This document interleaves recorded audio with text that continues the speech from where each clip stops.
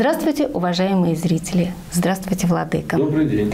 15 февраля Русская Православная Церковь отмечает великий двунадесятый праздник Сретения Господне. Владыка, напомните, что означает слово «сретение» и почему Сретение празднуют на сороковой день после Рождества Христова. А, мы вспоминаем событие, которое описано в Евангелии. Сретение э, переводится очень просто – встреча. А, мы вспоминаем, что на сороковой день после рождения Спасителя а, его матерь, Дева Мария и Иосиф Обручник по закону принесли его в Иерусалимский храм для того, чтобы посвятить первенца Богу. Был такой э, обычай – первенца посвящали Богу. И, э, принеся, э, приходя в храм с младенцем, тогда же приносили так называемую жертву, жертву очищения. И поскольку они были небогатыми людьми, они принесли двух горлиц. Такое разрешалось. В Иерусалимском храме их встретил старец Симеон. Это такой э, служитель храма. Очень интересна его история. Он был одним из 70 так называемых толковников, э, ученых иудейских э, мудрецов, которые переводили э, священное писание, вот, Ветхий, Завет, переводили на греческий язык. И э, перевод, который получился тогда, этот перевод получил наименование Септуагинта. Он и до сегодняшнего дня является одним из главных источников библистики. Это тот перевод, э, переводами с которого пользуемся в том числе и мы с вами. Э, когда, причем книги, разные книги Ветхого Завета были розданы разным участникам. А вот э, Симеон переводил э, книгу пророка Исаии. И он встретил там слова пророчества. «Дева в чреве примет и родит сына». Он подумал, что ошибка. Ну, бывает, переписывали люди, да, как дева может родить сына. Нет, конечно. И он э, перевел слово «молодая женщина». И ему явился ангел Господень и сказал, что нет, оставь так, как было, так, как есть, поскольку это э, рождение, говорится о рождении Мессии. И сказал ему ангел, что ты не увидишь смерти до тех пор, пока сам не увидишь Мессию. По преданию, э, святой праведный Симеон прожил, прожил 360 лет.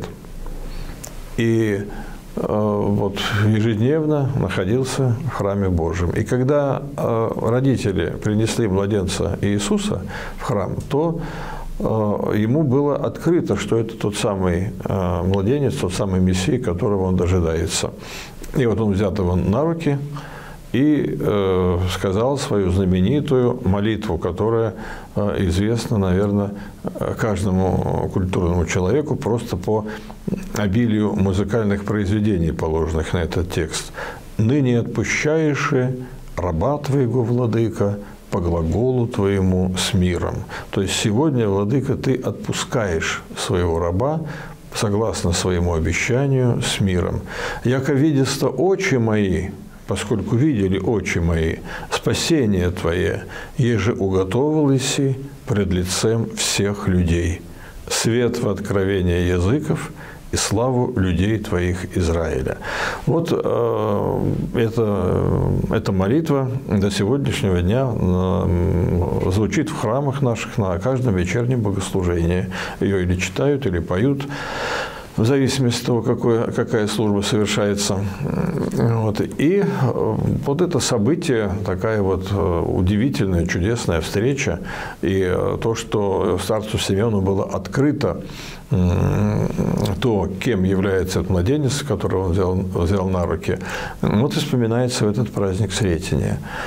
Кроме старца Симеона, участницей этого события была еще одна такая старица – Анна Пророчица. Анна Пророчица, совершенно верно. Дщи Фануилева, да, так о ней говорит Писание. Вот, она вдова, которая э, прожила очень небольшое время со своим мужем и потом всю свою оставшуюся жизнь вдовство провела при Иерусалимском храме. и э, служила день и ночь, э, помогая там. И она тоже была свидетельницей вот этого события, и как бы вот о ней тоже вспоминает в эти, в эти дни церковь.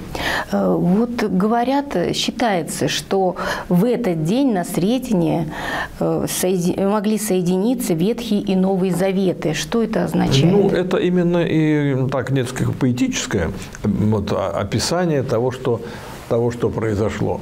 Э, Ветхий Завет – это старец Симеон, он как бы символизирует собой Ветхий Завет. Ну, это, конечно, э, больше так вот, такое поэтическое изложение. Да? Он символизирует Ветхий Завет, тем более, что он является его одним из авторов перевода Ветхого Завета.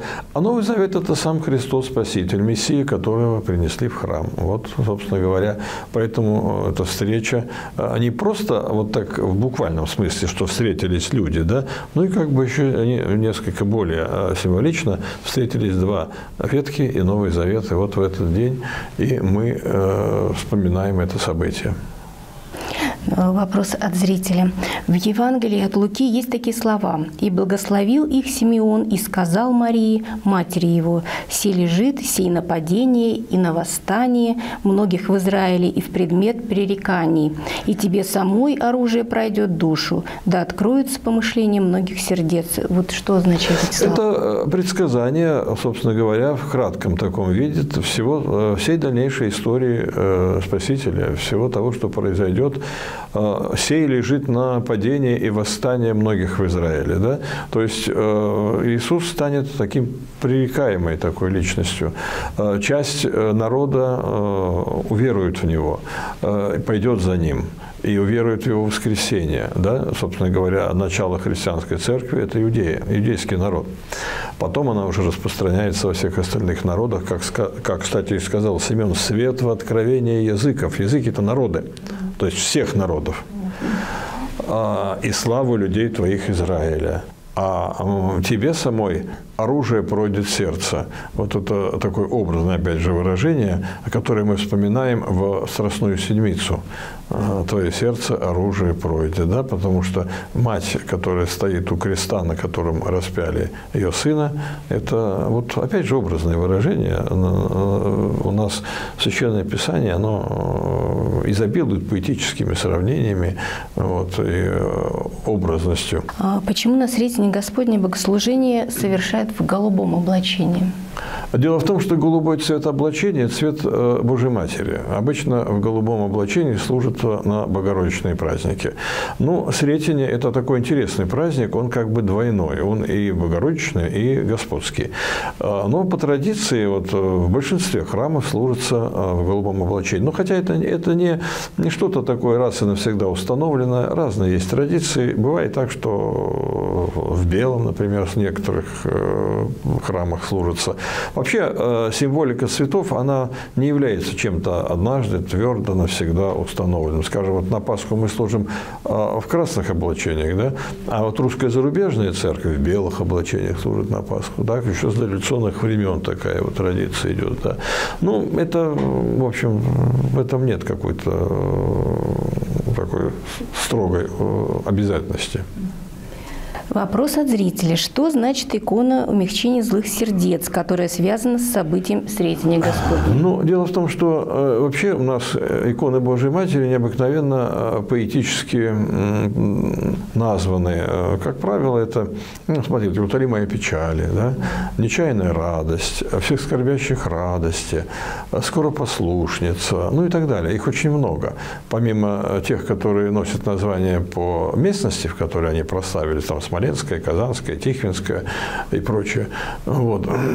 Еще и такие. Вот умягчение злых сердец, ну, так вот его вспоминают вот эти вот слова «А, «тебе оружие пройдет сердце», а, слова Симеона Богоприимца, как бы вот считается, что она, эта икона, а, отчасти такая вот иллюстрация, что те страдания Христа, которые вот пронзили сердце Богоматери, они э, могут и э, умягчить э, злые человеческие сердца. Вот, я думаю, вот, вот так вот. Спасибо, Владыка. До свидания. До свидания, уважаемые зрители.